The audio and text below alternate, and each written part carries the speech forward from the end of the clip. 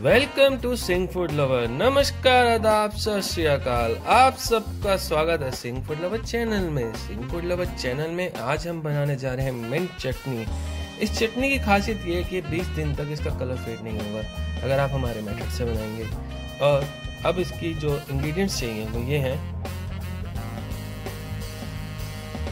Coriander garlic vinegar salt mint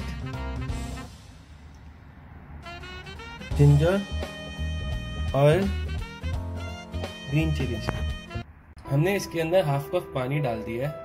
अब हम इसके अंदर मिंट के पत्ते डालेंगे।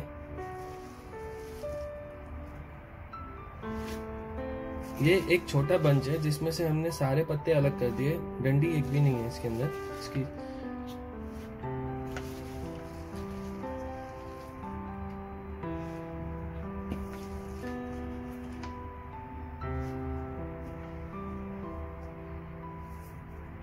मिंट को अच्छे से धो लिया इसमें मिट्टी बहुत होती है। इसको हमने तीन बार ही धोया है, अच्छे खुले पानी से। और अब हम इसके अंदर कोरिएंडर डाल रहे हैं थोड़ा सा मिंट। एक कप कोरिएंडर डाला हमने। और चार ग्रीन चिली हमने इसको दो भागों में बांट दिए और अब डाल रहे हैं।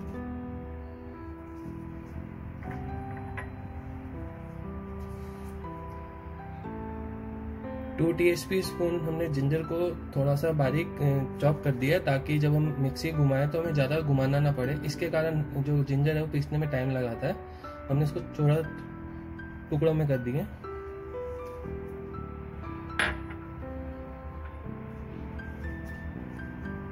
ये हमने इसके अंदर पाँच क्लोव गार्लिक के डाल दिए।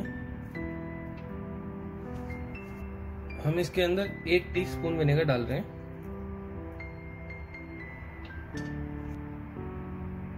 दो टेबल स्पून ऑयल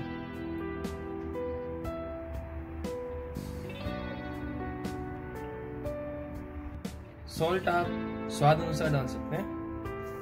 हम इसके अंदर one and half teaspoon डाल रहे हैं सॉल्ट का। अब अब इसको ग्राइंड कर लेंगे।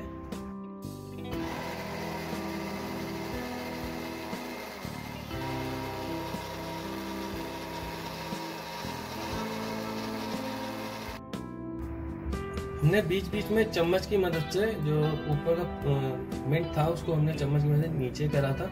और ये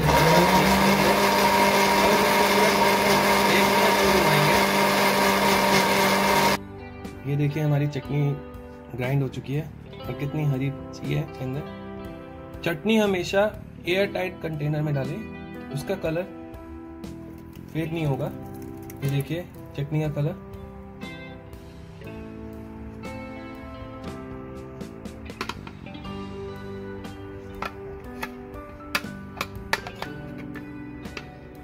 ये हमारी चटनी बन के तैयार हो गई है। अब आप भी इस चटनी को बनाइए और हमें बताइए कि आपको हमारी रेसिपी कैसी लगी। आपको श्योर बहुत अच्छी लगेगी। और आप हमारे चैनल को सब्सक्राइब करिए अगर आप नए हैं। और आप अपनी फैमिली मेंबर्स के साथ हमारी रेसिपी शेयर करिए अगर आपको लगती है। और अपना बेल आइकन दबा दिए ताकि हमारी जो नई रेसिपीज़ हैं वो आपको अपडेट हो जाए। इसी के साथ आपसे इजाज़त मांगते हैं। आपका बहुत बहुत धन्यवाद सिंह फ़ूड लवर।